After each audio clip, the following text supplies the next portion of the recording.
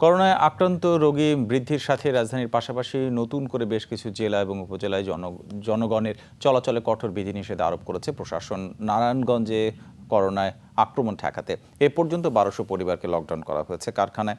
করোনায় দুজনের মৃত্যু এবং নতুন করে পাঁচজন আক্রান্তের পর গত রাতে সমন্বয় কমিটির সভা শেষে কঠোর হওয়ার ঘোষণা দেয় প্রশাসন এবং আইনশৃঙ্খলা রক্ষা বাহিনী ভাইরাসের সংক্রমণ ঠেকাতে ফতুল্লার আম্বানা, সুচিন্তা নগর, লামাপাড়া সহ কয়েকটি এলাকায় লকডাউন করা হয়েছে পাঁচশো পরিবারকে। এছাড়াও সিটি কর্পোরেশনের চোদ্দ নম্বর ওয়ার্ডের নন্দীপাড়ায় একই পরিবারের তিনজন করোনায় আক্রান্ত হয়। আশপাশে চারশো পরিবারকে লকডাউন করা হয়েছে। এর আগে বন্দর উপজেলার রসুলবাগে করোনায় আক্রান্ত হয়ে এক নারীর মৃত্যুর পর লকডাউন করা হয়েছে তিনশো পরিবারকে। মাদারীপুরের শিবচরেও বাড়ানো হয়েছে কড়াকড়ি।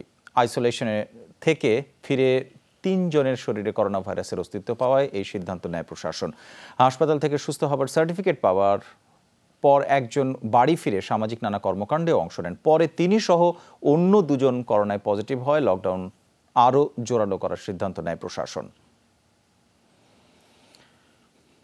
একই অবস্থা গায়বান্ধায় সাদুল্লাপুর দুজন প্রবাসী সহ মোট পাঁচজন রোগী পাওয়ায় ঝুঁকিপূর্ণ ভাবা হচ্ছে এই জেলাকে। তাই প্রশাসন জনসাধারণকে ঘরে থাকার বিষয়ে জোর দিচ্ছে। কেউ যাতে খুব জরুরি প্রয়োজন ছাড়া বাইরে না বের হয়, সে বিষয়ে বারবার সতর্ক করা হয়েছে। জামালপুরের মেলান্দহে করোনা ভাইরাস পজিটিভ রোগী পাওয়ায় ঘোষের পাড়া ইউনিয়নে জনগণের চলাচল সীমিত করেছে প্রশাসন। প্রশাসনের অনুমতি ছাড়া সেখানকার কাউকে ইউনিয়নের বাইরে বের হতে দেয়া হচ্ছে না। এরই মধ্যে আক্রান্ত ব্যক্তিসহ আশপাশের কয়েকটি বাড়ি কোয়ারেন্টাইন করে রাখা হয়েছে।